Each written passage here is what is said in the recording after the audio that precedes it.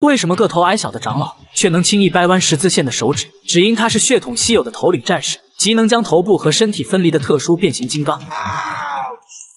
由身形矮小的人类躯体部分来组成头部，身体则是一辆银色的阿斯顿马丁 DB 十一。在漫画中，当两者融合后，体型庞大的就连擎天柱都只能望其项背。但为了保存能量，长老这才一直以管家身份示人，身体则是进入长期的休眠状态中。他与好友斗牛犬和中尉共同守护着维克维根家族，在侍奉伯爵家族长达数百年的时间里，长老亦学会了许多人类的技能，例如优雅的弹奏一曲蓝色的多瑙河。而作为浪漫的英国绅士，他也会为自己准备一顿丰盛的烛光晚餐，不过需要将自己当做鱼雷发射进深海，这才能满载而归。虽然实力不亚于一般的领袖，但长老的脾气可谓十分暴躁。他会因为男主对女性的不尊重而瞬间暴走，这一套丝滑连招差点让卞武直接剧终。开车时，他更是会因为路上堵车而感到不满，直接化身怒路一族。长老的头部还能变身为一门致命无比的嘴炮，一击之下精准毙命。